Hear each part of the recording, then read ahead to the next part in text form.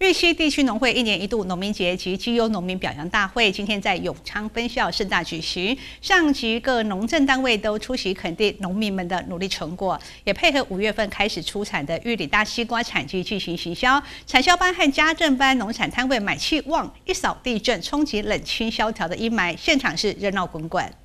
炎热天气却不减农民以及游客民众的兴致，每个农产摊位前人气买气强强棍，也展现玉溪地区农民的热情。这是玉溪地区农会农民节暨绩优农民表扬大会的现场，盛大且热闹无比。因为玉米哈是我们稻米最大产区，现在也差不多都是在要抽穗期的时候，也希望在这边祝福哈，也预祝我们这些农民哈。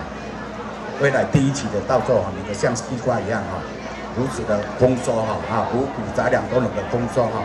玉溪地区农会今年在永城分校运动场办理一年一度的农民节暨绩优农民表扬大会，上级各农政单位首长代表也都出席参加，肯定农民的努力，也给予最大的支持。我们看到玉溪农会不止成长茁壮，而且把我们非常多的农产品销到。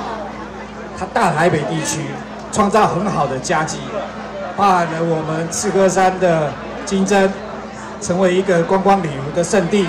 我们的大西瓜刷锅丁啊，是我们花莲县首屈一指，更是台湾首屈一指。的砧木一直来做试做的研究，文化有传承。那在原闽的农作文化传承这一块，其实我们改良厂也不遗余力哈。农业。呃，是兴国之本，那农民又是农业的之根，所以我们县政府跟长官其实都非常重视的农业发展。我们可以当你们农产品的代言人。那我们十号呢，好像我们的西瓜要到台北去行销，那刚好我们议会，但是我们假日我们可以自己去哈，我们可以自己去。然后呢，因为我们来替你们发声，把我们花莲最好的农产品一起行销出去。配合五月起开始出产的玉里大西瓜，以及玉溪两地优质的蔬果农特产，玉溪地区农会借此同步强力行销推广。农民节活动现场，各个农产摊位人气买气旺。农会也特别准备丰富的摸彩大奖，慰劳农民辛劳，也与农民同庆同乐，一扫地震冷清萧条的阴霾，期盼今年都能有个平安丰收的好年。接着是玉兰玉里镇采访报道。